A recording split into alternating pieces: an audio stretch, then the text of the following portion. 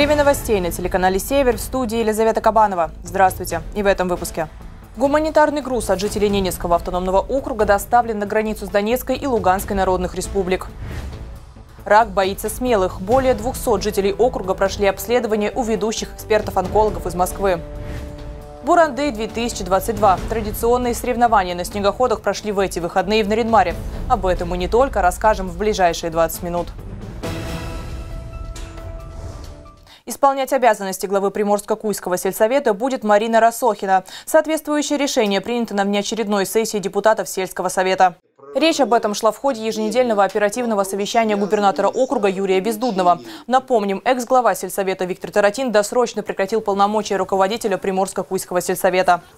Две внеочередные сессии были проведены э, Советом депутатов э, в Красном на прошлой неделе. На первой сессии было подтверждено, не подтверждено, а исполнено решение суда, которое вступило в законную силу по главе. И вторую сессию э, значит, депутаты провели э, на предмет выбора в Рио главы. На обеих сессиях э, я был, обе проходили в дружеской атмосфере. Очень жаль и прискорбно, что телеграм-каналы, достаточно уважаемые, не проверяют информацию, которую публикуют. Сейчас написано, что в Красном есть какой-то кризис – это абсолютно не соответствует действительности. Глава, в Рио главы выбрана. Рассохина Марина Юрьевна, она активно включилась в работу, э, все выходные занималась э, совместно с Вадимом Викторовичем, со мной, расчисткой дороги. Красная дорога расчищена, красная чистится, все социальные э, меры для граждан там исполняются. Поэтому работа идет в полным ходом. Губернатор округа пожелал Марине Рассохиной успешной работы в должности, исполняющей обязанности главы сельсовета, и выразил готовность оказывать поддержку в решении вопросов муниципалитета. Исполнять обязанности главы муниципального образования Марина Рассохина будет до выборов. Дата их проведения еще не назначена. Марина Рассохина – музыкальный руководитель детского сада в поселке Красное, является депутатом местного совета, избирается уже четвертый созыв подряд. Гуманитарный груз от жителей Ненецкого автономного округа доставлен на границу с ДНР и ЛНР. За пять дней машина со стройматериалами, стартовавшая из Сыктывкара, преодолела путь в 3850 километров. Фура со стройматериалами, приобретенными на пожертвования жителей Ненецкого автономного округа, предпринимателей и общественных организаций, отправилась из столицы Республики Коми 16 марта. В субботу, 19 марта, грузовой автомобиль прибыл на пункт сбора гуманитарной помощи. Позавчера мы выгрузились в Ростовской области, в хуторе Заречный, передали им гуманитарный груз. Э, все прошло достаточно гладко, если коротко о поездке. Мы выполнили все, что запланировали. Э, на сегодня проехали мы порядка, ну, проехали точно, 5169 километров, одометр обнулили еще в округе на отворотке Наусинск. Э, чувствуем себя хорошо, погода классная здесь, тепло. Напомним, сбор средств гуманитарной помощи для жителей Донецкой и Луганской народных республик был организован в Ненецком округе по инициативе губернатора Юрия Бездудного в феврале этого года. Дорога в поселок Красное открыта. Проезд фактически обеспечен для всех видов транспорта. Но работы по приведению дороги в нормативное состояние продолжаются. Напомню, 20 марта дорога на Красное была временно закрыта для проезда всех видов транспорта. Дорожники устраняли последствия метели. Также в связи с неблагоприятными погодными условиями проезд по зимнику на Ренмар-Усинск остается закрытым для всех видов транспорта. Ограничения на движение действуют с 18 марта. Уточнить информацию о состоянии зимней дороги можно по телефону, который вы видите на своем экране. Зимняя дорога в село Тельвиска открыта и функционирует в обычном режиме. В пятницу в Наридмаре завершилась акция «Рак боится смелых». Несколько дней московские эксперты, ведущие онкологи страны, делились своим опытом с местными врачами и обследовали более 200 жителей округа. По итогам всех мероприятий состоялся круглый стол. Подробности смотрите в следующем сюжете. Явного субстрата нету, есть такие, маловероятно, что это э, опухолевая Мы взяли три очага, Акция «Рак боится смелых» несет в большей мере практический характер. На третий день пребывания московских экспертов на Ридмаре главный врач онкологического центра имени Николая Блохина поприсутствовал на проведении лапароскопии. Данную процедуру выполнил старший научный сотрудник торакального отделения онкологического центра Амар Абухайдар. Лапароскопия является финальным этапом исследования пациента. Был выявлен э, рак желудка с переходом на пищевод. А, причем эм, образование четко определилось во время эндоскопии и подтвердился диагноз с помощью э, цитологического метода, метода исследования клеточного состава э, э, этого образования под микроскопом. Диагностическая лапароскопия необходима для определения точного объема распространения заболевания. Как отмечают московские специалисты, Ненецкая окружная больница полностью оснащена всем необходимым оборудованием, которое позволяет выявить онкологию на ранних стадиях. Просто идеальное оборудование, да, у нас даже, можно сказать, такого нету. А, я шучу, конечно, да. А, очень хорошее современное оборудование позволяет как раз выполнять такие манипуляции. Основной целью акции было не только обследование жителей региона, но и обмен опытом московских экспертов с местными врачами. Для региональных специалистов провели лекцию и практическую демонстрацию проведения биопсии. Наш доклад он состоит из двух частей. Это теоретическая часть и практическая часть. Мы показали две биопсии. Биопсии глубокой локализации – это э, образование печени. И вторая была – это биопсия предстательной железы. Э, на мой взгляд, это очень интересная локализация, это сложная локализация, сложная для выполнения таких манипуляций в регионах, и поэтому а, мы показали местным коллегам, как правильно, э, безопасно выполнять эти манипуляции для того, чтобы был качественно полученный материал и, соответственно, не было никаких осложнений у пациентов.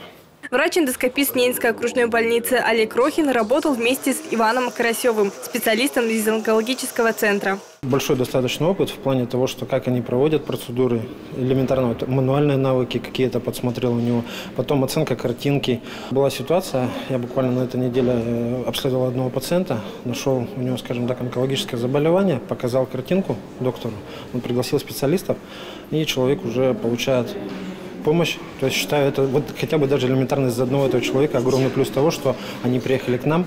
Завершили акцию за круглым столом, за которым собрались врачи Ненецкой окружной больницы и приезжие эксперты из онкологического центра имени Николая Блохина. В зале официальных мероприятий прошла также видеоконференция с участием докторов из других регионов страны. Говорили в том числе о федеральных программах борьбы с онкологическими заболеваниями.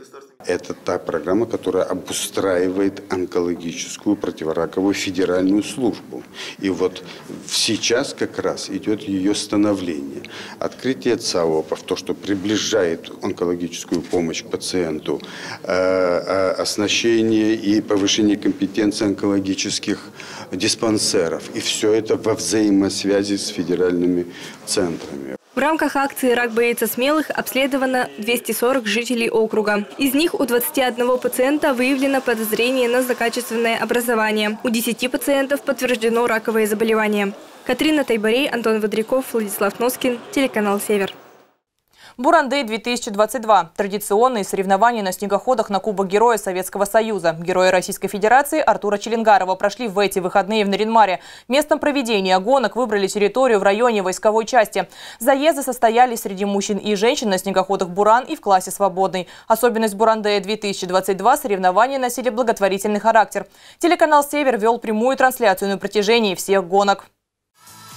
Новой локацией проведения соревнований для спортсменов были оборудованы сразу две трассы. Одна для снегоходов «Буран», вторая для высокоскоростной техники. Длина первой 1200 метров. Гонщикам предстояло преодолеть 7 кругов. Вторая скоростная 700 метров и 10 кругов для спортсменов. Основные гонки начались после традиционных отборочных заездов. Спортсмены выступали в четырех классах. Женский заезд, гонки ветеранов, заезд среди мужчин на буранах и класс свободный. В женском заезде победу одержала Любовь Балакшина из Андига. Это не первое золото участницы. В 2020 году она уже становилась лидером гонок. Любовь, вы победили? Да, победила, я снова чемпионка. Какой раз вы чемпионка? Второй раз чемпионка. Как часто вы участвуете? Пятый год. Э, сложно было, как трасса, как впечатление? Конечно, всегда сложно, всегда эмоциональный адреналин, но нравится, очень нравится. Дарья Христолюбова из деревни Лабожская завоевала серебряную медаль. Ольга Попова впервые участвовала в соревнованиях и стала обладательницей бронзы. В заезде на буранах среди ветеранов первым стал бессменный лидер гонок Василий Рочев. Это уже третья его победа в соревнованиях. Второе место занял Василий Попов. Третье место взял многократный чемпион Бурандея Валерий Христолюбов. Михаил Балакшин, отец победительницы в женском заезде, тоже соревновался. Он не стал первым в ветеранском заезде, но своим участием поддержал дочерей. Ну, одну дочку готовил знакомый, а вторую муж. И они тоже выросли на буранах, поэтому катаются свободно. классе «Свободный» победу одержал неоднократный участник гонок Алексей Стремоусов. Это не первое соревнование на снегоходах для Алексея. Участвую я третий раз на Бурандей. В этом году выезжали два раза в набережные Челны и в Киров. Тоже считаю успешные гонки были. Сейчас занял первое место, очень доволен. Сергей Стремоусов, отец победителя, поддерживал Алексея на старте и финише. Помогал не только снегоход подготовить, но и морально настраивал сына на соревнования. Говорит, любовь к снежным машинам появилась у Леши еще в детстве. В прошлом отец чемпиона сам был участником соревнований и брал призовые места. Гонял на снегоходах, были призовые места и все прочее, ездили за границу. Ну, как бы, все вот с этого и началось. Дети подросли, потом они подтянулись. Как бы. Вы сказали, за границу ездили, это международные соревнования? Ну да, Норвегия. Рыбинск, Уфа, команды от снегоходов Буран ездили, от округа гоняли. Второе место в классе «Свободный» у Виталия Стремоусова, а третье призовое взял Владимир Пуляев. Классе «Буран» среди мужчин победил Алексей Попов. Второе место занял Михаил Кренц, третье – Антон Калий. На закрытии соревнований победители и призеры были награждены медалями, кубками и денежными сертификатами. Бурандей в Ненецком округе проходит в 26 раз, и популярность соревнований только растет. Участие в гонках принимают семейные династии – Губернатор округа Юрий Бездудный предложил создать на Ринмаре детскую мотошколу. В этом году мы создаем именно детскую школу. Для этого, безусловно, потребуется определенная техника, ведь э, ребенка не посадишь за такую машину, вот, на которых мы ехали. И за буран не, не посадишь. Помните, как там руль поворачивается? Это нужна специальная техника, и мы ее уже заказали для со всех маленьких. Кроме этого, в планах в следующем году организовать снегоходное ралли до Индиги. Основная особенность Бурандей 2022 года – благотворительный характер. Средства собрали на поддержку Мстислава Никонова. В гостевом городке были организованы торговые палатки, сделаны в НАО, а также ресторанный дворик. Предприниматели собрали порядка 100 тысяч, волонтеры более 50 тысяч рублей на лечение подростка из села Тельвиска. Генеральным партнером соревнований по кроссу на снегоходах Бурандей традиционно выступила компания «Лукойл». Анастасия Евтысая, Ольга Русул, Катрина Тайбарей, Антон Водряков, Вадим Стасюк, Владислав Носкин, телеканал «Север». Любишь кататься, люби и санки украшать. Именно такая вариация народной поговорки подходит для конкурса «Веселые сани», который прошел в рамках развлекательной программы на мотокроссе «Бурандей-2022». Какие сани стали самыми красивыми и надежными, смотрите в следующем сюжете Катрины Тайбарей. Конкурс «Веселые сани» уже стал доброй традицией самого масштабного праздника Ненецкого округа Бурандей. Елена Черепенина представляет сани каждый год, за исключением 2021 В этот раз женщина представила скатерть-самобранку. Вот у нас есть такой костюм, тоже самодельный, что к этому костюму нужна скатерть-самобранка. Вот мы ее сделали и попробуем скатиться. Какой творческий конкурс обойдется без сказки? Надежда Мяндина, Ольга Хабарова и Николай Денисов в своих санях показали сказку «Гуси-лебеди». Как говорят творцы, сказка – это начало всех начал. И мамы нам рассказывали, и мы рассказывали своим детям, им, и уже внукам рассказываем сказки. Поэтому сказка – это зернышко, которое зарождается и показывает эмоциональное настроение человека. Сани на конкурс команда создавала все вместе, и у каждого была своя важная роль. Я вообще такие гигантские не делала сани, но там, когда вот эти закрепляли, я придерживала. Да, мы готовили сани долго в этот раз, около трех недель, да, с 1 марта, и вот буквально закончили вчера вечером. Общими силами команда завоевала третье место на конкурсе «Веселые сани». На праздник показать свои сани прибыла жар-птица с острова Буян Татьяна Золотуева и угостила всех гостей праздника молодильными яблоками лучше жар-птица в руках, чем журавль в облаках. И у меня даже есть, поскольку я жар-птица с острова Буян, э, жар-птица, почему Иван дурак и Иван молодец, всегда хотел поймать жар-птицу, потому что у них были молодильные яблочки. И вот у меня есть молодильные яблочки, которыми я могу угостить всех желающих. Ольга Попова на конкурс представила сани, которые были изготовлены в 1994 году ее дедом Вячеславом Поповым. Сани выполнены вручную. На конкурс в окружную столицу их привезли из деревни Макарова. Сани в единственном экземпляре, ни у кого больше таких саней нет, ни в округе, ни в России. А, считаю, что это искусство, это наше семейное искусство. А, каталась маленькая я, э, каталась моя дочь. Надеюсь, внуки будут кататься, потому что они сделаны с любовью. Ненецкий округ нельзя представить без ненецких саней. Надежда Евтысая со своей внучкой Ириной Вокуевой представили детскую версию женских традиционных саней. На конкурсе женщина представляла свои сани в ненецком костюме канинской тундры. Это санки вот дедушка сделал для своей внучки. Ну, первая внучка родилась у него, он делал. Этой девочке уже 6 лет. Вот они. По итогам конкурса победителем стала команда «Вдохновение» и в качестве вознаграждения получила денежный сертификат на сумму 30 тысяч рублей. Второе место и 25 тысяч рублей достались Машеньке и Медведю. А третье место и приз в сумме 20 тысяч рублей забрали герои сказки «Гуси-лебеди». Катерина Тайбарей, Владислав Носкин, телеканал «Север». Ежегодно в третье воскресенье марта в России отмечают День работников бытового обслуживания и жилищно-коммунального хозяйства. Без тех, кто вывозит мусор, занимается ремонтом и парикмахерским делом и многим другим, сложно себе представить комфортную жизнь. Для них не важно, сколько градусов за окном идет дождь или метель. Своевременный вывоз мусора – залог чистоты в любом населенном пункте. Анатолий Чуклин практически всю трудовую жизнь за рулем. Несколько лет был водителем автобуса, а сейчас пересел на самосвал. Мусора много, ежедневно у людей собирается и вывозить мусор. Если не вывозить, то ну, что тут будет твориться тогда? Бардак и, и экология. Сейчас за экологию все бьются. И поэтому ну, я считаю, что одна из наиболее таких значимых сфер вот этого вот э, вывоз бытовых отходов. Работники предприятия, вывозящие мусор, периодически сталкиваются с припаркованными впритык площадкам машинами, а также с тем, что жильцы домов оставляют мусор у контейнеров. Стараются аккуратно, но бывает, да, конечно, мимо бросают, но не очень приятно.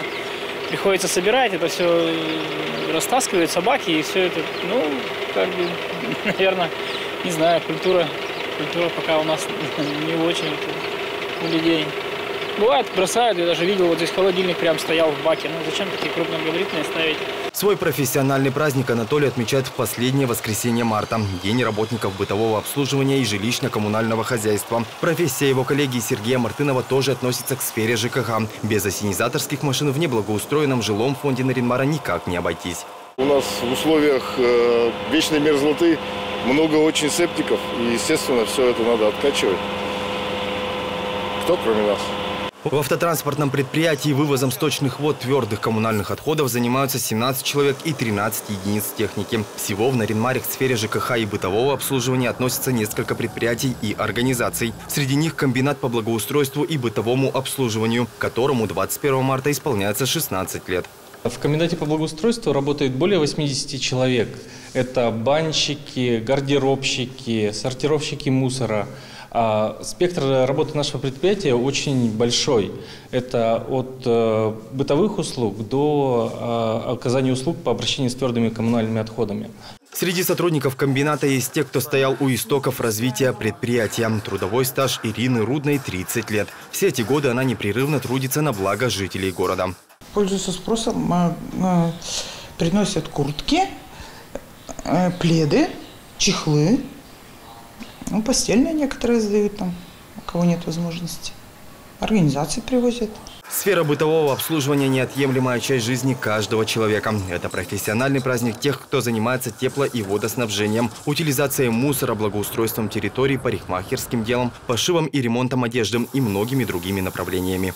Василий Хтанзейский, Александр Литкова, Леонид Шишелов, Антон Водряков. Телеканал «Север». На этом у меня все. Далее смотрите прогноз погоды.